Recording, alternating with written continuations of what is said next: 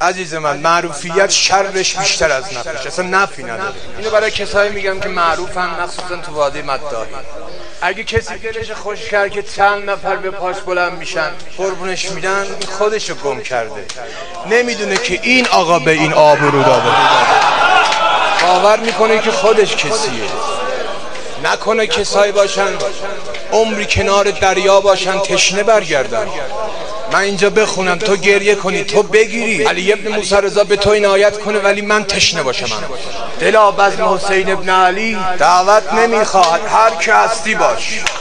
هر که هستی باش. پول داری برای خودت. مقام داری برای خودت. تو جلسه امام حسین یه شخصیتی به نام عباسه که همه پیش صفر دیگه کسی جلوه نمی‌تونه بکنه جلوی عباس ابن علی.